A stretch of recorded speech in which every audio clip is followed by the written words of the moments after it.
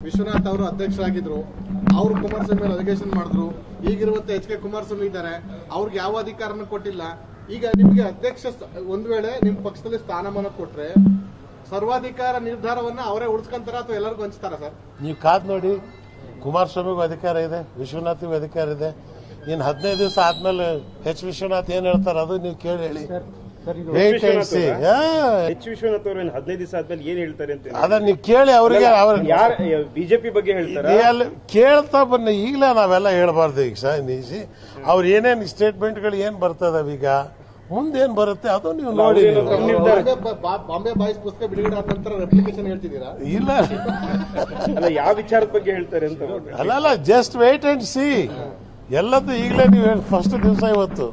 ಗುರುವಾರ ದಿವಸ ಆಗಿದೆ. ಜಸ್ಟ್ ವೈಟ್ ಅಂಡ್ ಸಿ ಸರಿ ಒಂದು ಹಿಂಟ್ ಕೊಡಿ ಸರ್ ಜೊತೆಗೆ ಯಾರು ಬರ್ತಾರೆ ನಿಮ್ ಜೊತೆ ಇಬ್ರಾಹಿಂ ಈಗ ನಾನು ಯಾವ್ದು ಹೇಳಲ್ಲ. ಬರ್ದಾಗ ನಿಮಗೆ ಒಬ್ಬೊಬ್ರಾಗ ಒಬ್ಬೊಬ್ರಾಗೆ ಒಂದೊಂದು ಪೀಸ ನಿಮಗೆ ತೆಗೆದು ತೋರಿಸ್ತಾ ಇರ್ತೀನಿ ನಾನು. Thank you very much